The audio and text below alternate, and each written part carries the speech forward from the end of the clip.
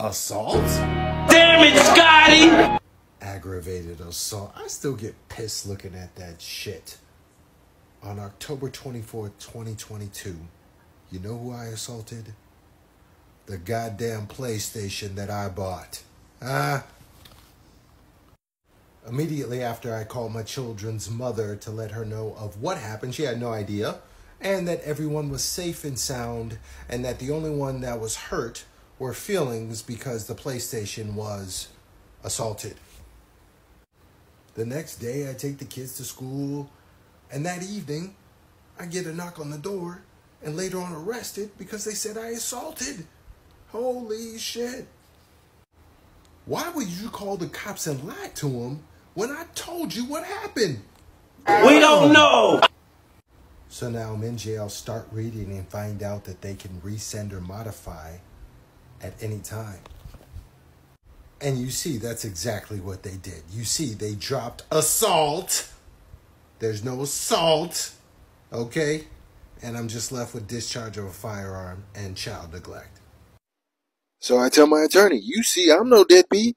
They're dropping charges. Somebody over there needs to change their name to Dazum or Reach God, reaching like a mother.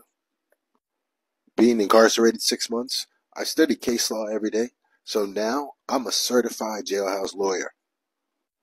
That being said, I found loopholes that I could beat the case with corpus delicti, habeas corpus, adversarial preliminary hearing, hypothesis of innocence, things like that.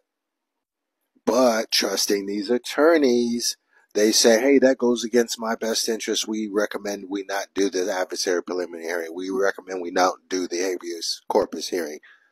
So I don't do it. When I had all the information and case law backing why I would have won the case. Per the attorney, we requested a plea.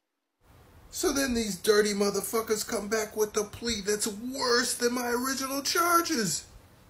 So they took my original charge, which is a misdemeanor, and amended it, upgraded that bitch to a second degree felony, punishable by 15 years in prison.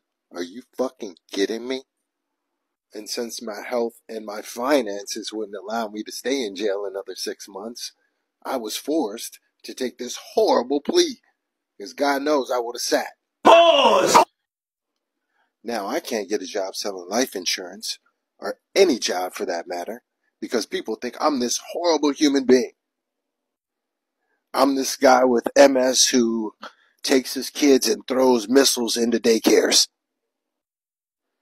And did I mention the hardest part?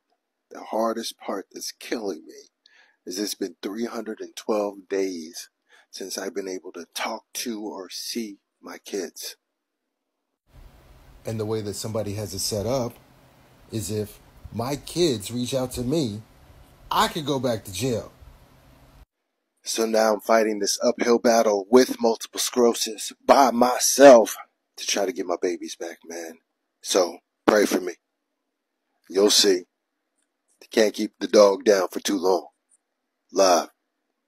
A lot of niggas are nice, but they are not him. There's really nothing that you can do to stop him. Call him the God MC, just like Rakim. And he done took some L's, but yeah, he got wins. wins. Motherfucker.